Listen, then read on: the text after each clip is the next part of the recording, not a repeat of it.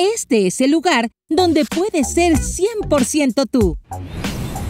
Hola, ¿qué tal? Soy Víctor Quintero. Trabajo orgullosamente en Bodega Horrera como líder de departamento, aquí con, junto con Luis Alberto, mi amigo. Hola, cuéntanos cómo ha sido tu experiencia al expresar tu personalidad.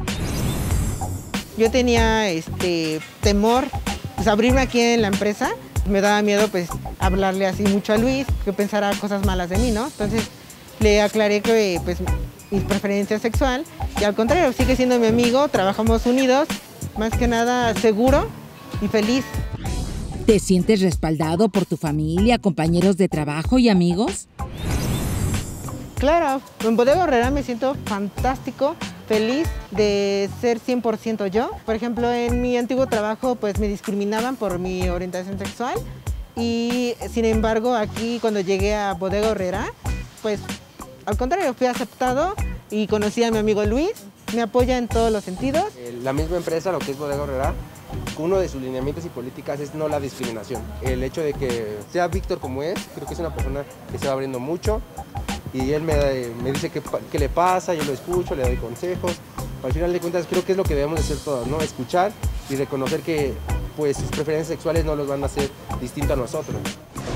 ¿Qué consejo le darías a las familias que están pasando por el proceso de aceptación?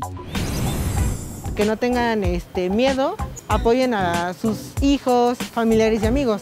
Por ejemplo, yo tuve una amiga que tenía miedo de abrirse y yo le conté cómo se lo conté a, mi mamá, ¿no? De, oye mamá, es que a mí me gustan los chicos y, y shalala, ¿no? Entonces, pues ella creo que lo hizo con familiares y amigos y le ha resultado mi consejo con lo que yo tuve con mi mamá, porque ella, ella es ama de casa, ella no discrimina y pues como, como yo le conté lo que yo sentía y mis preferencias, pues ella me aceptó y feliz de ser 100% yo.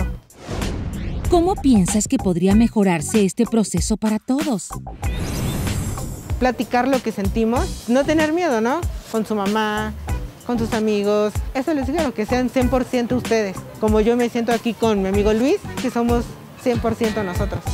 Algo que existe en su familia ya con, con el tiempo que llevamos conociéndonos y la oportunidad que me ha dado de ir a su casa y conocer, veo que existe una buena relación en su familia, está la oportunidad de poderse platicar y expresarse libremente sin, sin miedo a ser juzgado, sin miedo a ser enjuiciado, ¿no? Entonces creo que eso es algo súper importante que tenemos que considerar hoy en día las familias mexicanas, es esa apertura, esa confianza tener a los hijos, a las hijas y saber escucharlos.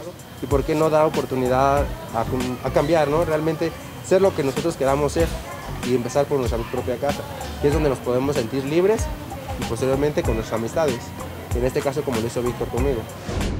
Este es el lugar donde puedes ser 100% tú.